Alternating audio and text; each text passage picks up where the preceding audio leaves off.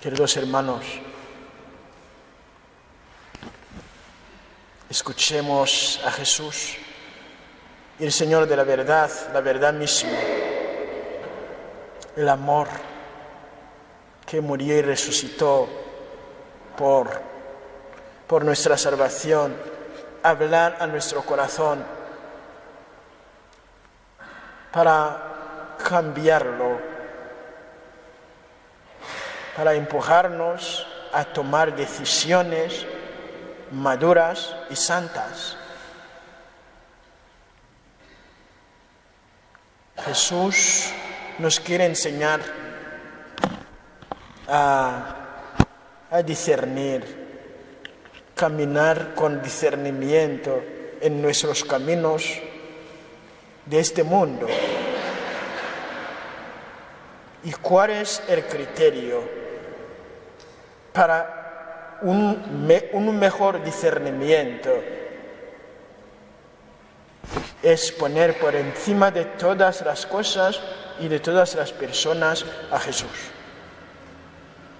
Si alguien toma una decisión en esa dirección, no se equivocará.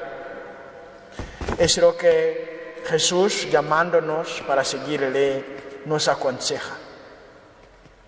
Si alguno viene a mí y no pospone a su padre y a su madre, a su mujer, a sus hijos, a sus hermanos, a sus hermanas, e incluso a sí mismo, no puede ser discípulo mío. Y quien no carga con su cruz y viene en pos de mí no puede ser discípulo mío. Y terminando, todo aquel de entre vosotros que no renuncia a todos sus bienes no puede ser discípulo mío. entre dos decisiones que hay que elegir. La luz del Espíritu Santo nos dice cuál es la mejor decisión. Será que te une con Jesús, que manifiesta a Jesús en tu propia vida y la de los demás. Aunque sea un martirio, claro. Porque si te está diciendo, te matamos, o te damos eso para que tú vivas disfrutando de la vida, pero negando tu fe. Eso que elegir, como los mártires. Si uno tiene ese don de discernimiento según el designio de Jesús, va a elegir la muerte, a la vida en el pecado. Ese discernimiento es un don del Espíritu Santo. A veces nosotros eh, como cristianos de muchos años, pensamos que lo sabemos todo, que lo sabemos hacer, hacer todo bien y olvidamos, como la, la primera lectura nos recuerda, nuestra debilidad. Nuestra debilidad.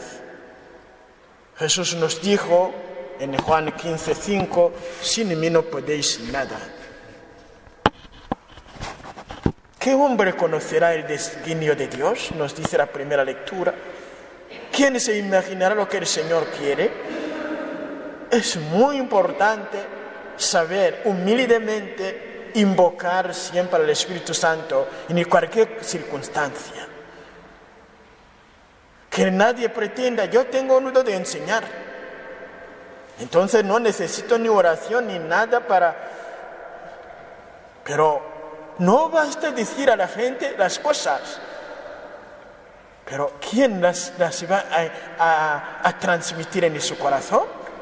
¿Quién las, la, va a convencer si el Espíritu Santo no lo hace? Es muy importante reconocer nuestra debilidad en todas las cosas.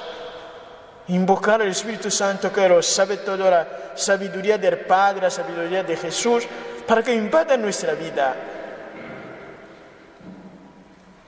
No son los discursos que nos faltan. ¿Quién no sabe hablar? Todo el día lleno de discursos, de palabras. Hay casi los que no paran, hablando, hablando, hablando. Pero ¿de, de qué hablan? ¿Qué sabiduría hay? Los discursos no nos faltan, pero no tenemos sabiduría para transmitir vida en lo que estamos diciendo, para alumbrar en la mente de los demás a través de nuestros discursos. Eso no lo tenemos.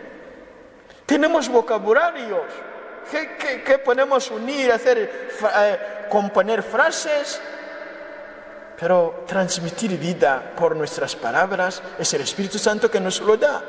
Y es Él que lo hace. La sabiduría del Padre. Y a veces también, un comentario acerca de nuestra debilidad, lo que nosotros podemos definir como nuestra especialidad es a la vez nuestra limitación.